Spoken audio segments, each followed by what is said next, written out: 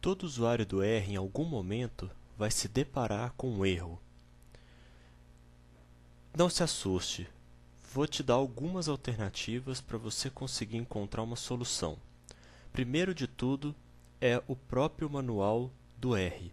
Então, para acessar a ajuda de qualquer pacote ou função, basta digitar o nome do pacote precedido da interrogação.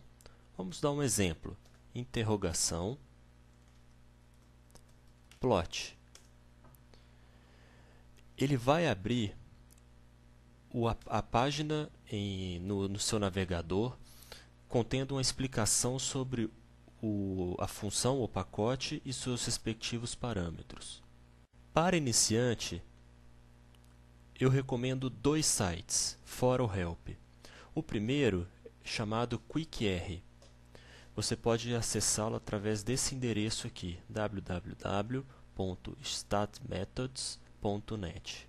Esse é um site muito bacana, onde ele mostra diversas análises, os códigos e as saídas. Então, por exemplo, se eu quiser uma estatística básica, eu venho aqui no menu lateral, peço estatística básica, e ele vai me mostrar uma série de análises que eu posso estar executando.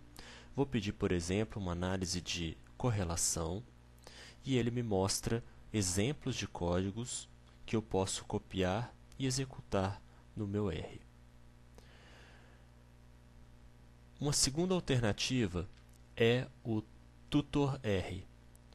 Uh, esse é um livro que você inclusive pode fazer o download dele aqui no site e que ele traz em seu sua versão online diversas diversas explicações, detalhes de uso, inclusive, né, que você pode estar acessando e tirando as suas dúvidas.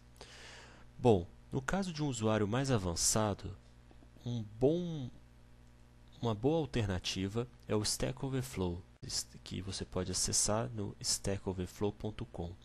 Esse já é mais um, um fórum, então você digita aqui na, no box de pesquisa é, entre colchetes o R para assinalar que você está querendo pesquisar a linguagem R e digita uma dúvida. Aqui tem que dominar o inglês, né? Então, por exemplo, é, vou digitar core_gram.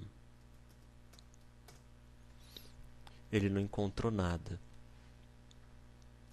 Vou digitar com dois R's né? Então ele já vai me trazer algumas perguntas que outros usuários já fizeram com relação ao pacote CoreGram.